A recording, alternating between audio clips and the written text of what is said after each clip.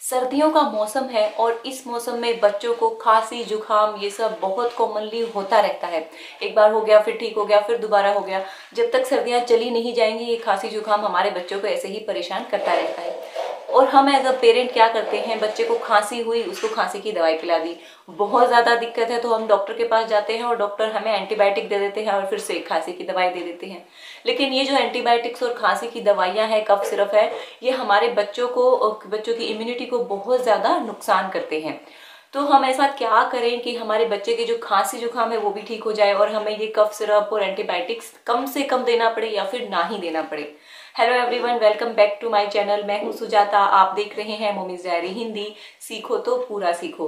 और आज इस वीडियो में मैं आप लोगों को एक ऐसा मालिश का तेल बताने वाली हूँ। सरसों के तेल का एक ऐसा मिक्सचर बताने वाली हूँ, जो आप अपने बच्चों के लिए यूज़ कर सकते हैं तब जब उन्हें खांसी जुकाम हो या फिर ठंड की चपेट में बच्चे आए हुए हों।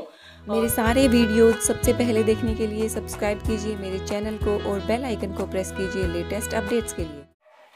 तो बेसिकली ये जो तेल है, ये जो मिक्सचर है, इसमें हम सरसों का तेल यूज़ कर रहे हैं, उसके साथ साथ लहसुन यूज़ कर रहे हैं अजवाइन यूज़ कर रहे हैं और मेथी दाना यूज़ कर रहे हैं। ये सारी चीज़ें जो होती हैं, ये बहुत गर्म होती हैं और जब हम इसका मिक्सचर बना के बच्चे को लगाएँगे, मालिश करेंगे तो ये बच्चे के शरीर को एक गर्माहट देती है। चलिए सबसे पहले मैं आपको बता देती हूँ कि ये जो मिक्सचर है ये आपको बनाना कैसे है उसके बाद हम बात करते हैं कैसे लगाना है कहाँ लगाना है और क्या क्या सावधानियाँ आपको बरतनी तेल बनाने के लिए मैंने यहाँ पे लिया है आधा कटोरी सरसों का तेल चार पाँच लहसुन की कलियाँ एक चम्मच मेथी दाना और एक चम्मच अजवाइन। मेथी दाना यहाँ पे बिल्कुल ऑप्शनल है आप चाहें तो लें चाहें तो ना लें। लेकिन ये बाकी की सारी चीज़ें आपको ज़रूर लेनी है। इस मिक्सचर को बनाने के लिए सबसे पहले हम अपना एक तड़के वाला पैन ले लेते हैं। उसमें मैंने अपना ये सरसों का तेल डाल दिया है। जब ये तेल गर्म हो जाएगा, तब हम इसमें अपना सबसे पहले डालेंगे लहसुन। तो तेल के गर्म होती ही मैंने इसमें लहसुन डाल दिया है। अब जब तक लहसुन थोड़ा सा हल्के भूरे रंग का नहीं हो जाता, तब तक हमें इसे पकाना है। अब हमारा लहसुन जो है वो हल्का हल्का पक गया है। अब मैं इसमें डाल दूँगी अपना अजवाइन। और मेथी दाना। और इसको हमें बस थोड़ी देर पकाना है। ये सारी चीज़ें पक जानी चाहिए। जलाना नहीं है, बस इनको पकाना है। तो ये देखिए, हमारा मिक्सचर एकदम रेडी है। सारी चीज़ें पक चुकी हैं। इन सब का रस जो है वो इस तेल के अंदर आ जाना चाहिए। अब हम थोड़ी देर के लिए इस तेल को रख देंगे ताकि ये ठंडा हो जाए। इसके बाद हम इसे किसी ग्लास के या स्टील के किसी बॉटल में डाल के रख लेना। प्लास्टिक में डाल के मत रखना। और इसको फ्रिज में स्टोर करने की भी ज़रूरत नहीं है, क्योंकि अभी सर्दियाँ हैं। बस धूप ऐसे बस ऐसे एरिया में मत रखना जहाँ धूप आती है। आप इसको कहीं भी स्टोर करें, बस धूप इस पर नहीं पड़नी चाहिए। तो ये देखिए हमारा तेल ठंडा हो गया है, अब मैं इसको छान के अपने ग्लास के बोतल में डाल के रख लूँगी। तो ये देखिए हमारा तेल एकदम रेडी है। अब बात करते हैं इसको कैसे लगाना है। तेल को आप जब लगाएँगे तो हल्का सा गर्म करके लगाना एज इट इज़ मत लगाना। थोड़ा सा हल्का गर्म करके बच्चे को लगाना, बहुत गर्म भी ना हो और एकदम ठंडा भी ना हो। सरसों का तेल जो है वो सर्दियों में बच्चों की मालिश करने के लिए सबसे बेस्ट माना जाता है। इसमें एक्चुअली हीटिंग प्रॉपर्टी होती है, जो बच्चों में जो ठंड लगी होती है, उसको दूर करेगी, बच्चों के शरीर में गर्माहट लेके आएगी। उनकी चेस्ट कंजेशन यानी कि जो छाती में बलगम जम जाता है, बच्चे को खाना खाने का मन नहीं करता, खाना खिलाते भी हैं तो वो अंदर नहीं ले जा पाता, उसको थोड़ा बहुत ही खाता है, क्योंकि यहाँ पे उनको बहुत ज़्यादा बलगम जम जाता है। तो उसको दूर करता है बलगम को जो है ये मेल्ट कर देगा और वो जो बलगम है वो पोटी के थ्रू बाहर आ जाएगा। इसी तरह से जो हमारा लहसुन है अजवाइन है मेथी है ये सब गर्म होते हैं और जब ये सारी गर्म चीज़ें मिल जाती हैं तो ये और भी ज़्यादा जल्दी असर आपके बच्चे पे दिखाती हैं।